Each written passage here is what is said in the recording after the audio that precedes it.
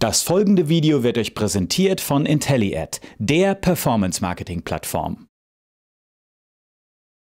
Welcome to Venture TV. I have a special guest for you today. It's Ben Edelman. Ben, you are Associate Professor at Harvard Business School teaching online marketing and online stuff. So how can you how can you teach internet? How can you teach online marketing? How do your do your classes look like?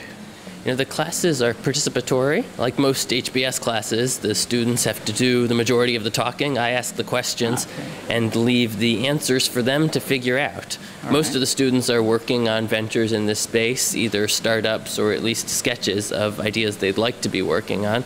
And there's ultimately a project where they bring their ideas as far as they can in the time available. So it's highly participatory and highly creative, I think, as the material requires. What, what topics do you cover?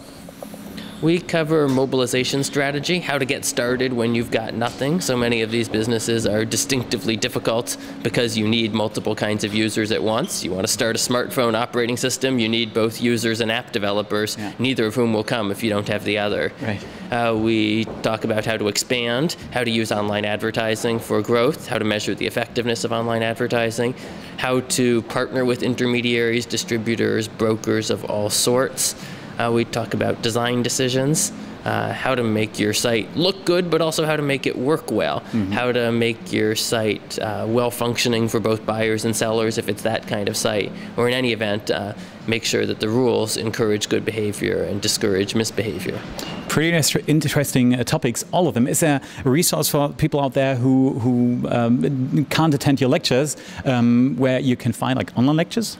Uh, we don't have the lectures online. There are some university rules about that. Okay, okay. Uh, but the course structure and the students' blog posts, a required part of the course, are at onlineeconomy.org. That's fun. Some of those posts are really good, and you'll also get some overview of what the course is about. All right, yeah, you can just get a little glimpse of what you were talking about. Um, now we are we are coming to a topic that's, uh, as far as I think, really interesting, and that, that is the future of the internet. Um, you are, you're doing a lot of research about the internet. What, what's your um, what's your picture? What's your forecast on the future of the internet? How will it look like in a few years? One of the most interesting questions is to what extent a few big firms will dominate online communication and commerce. Google, Facebook, Apple?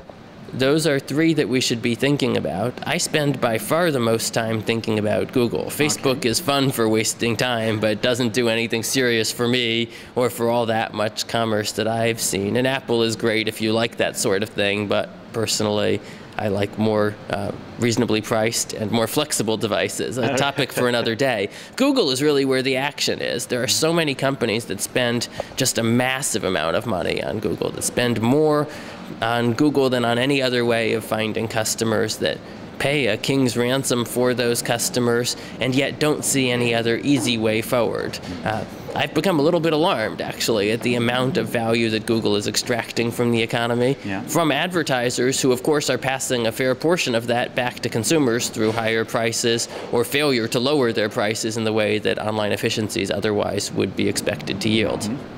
So there's this extremely powerful company, Google, that has had no real business model when it all started. They found out really quick that they can earn tons of money with advertising. They earn tons of money with advertising right now, becoming bigger and bigger and bigger. Um, there are some boundaries of growth. So Google is going into other areas like home automation, robotics. What do you think what's what's going on there? Where do they pick topics that were not in their original focus, but totally different? What's what's going on? Why do they do that? Well, one question is whether there is that much more they could squeeze out of the online advertising business. I've come to think maybe not so much, actually. Okay, okay. Google's market share in online advertising is significant, and the bigger they get there, the more competition regulators get increasingly concerned, probably rightly so.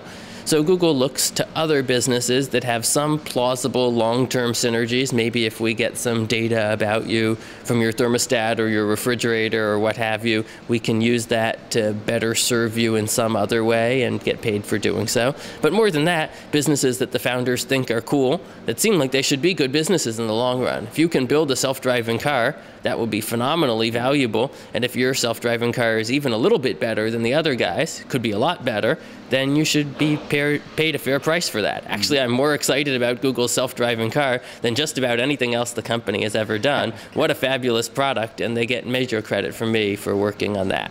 All right. Um, do you think that they will interconnect all the services to one time rule the world and, and control our everyday lives from the morning until we, we go to bed? Or do you think it's not really about interconnecting all these things? These things, it's it's more about um, diversification because they can't grow much further in online advertising, so they try to earn much money in other areas. You know, those are both good explanations. I'm not sure we have to choose. They're thinking about both of those as they go down this road. Uh, to be sure, they've reserved for themselves the right to combine data in interesting and important ways. Recall the privacy policy disputes of about two years ago, where Google wanted the right to combine what they know about you from YouTube with what they know about you from Gmail with what they know about you from Google Search. And indeed, they have proceeded and done that, although to the dismay of several privacy regulators here in Europe Europe, most notably the French privacy regulator, which just last month ordered that Google place an apology and a statement and a disclosure in quite a prominent place on their site yeah. to alert French users to what they've done and how the government declared it to be wrongful. When you think about the future, uh, can you um, yeah, see Google as a threat? Should we all be a bit careful about how big uh, Google can become? They say do no evil, that's the claim, but um, you never know. So do you see a, a certain threat there?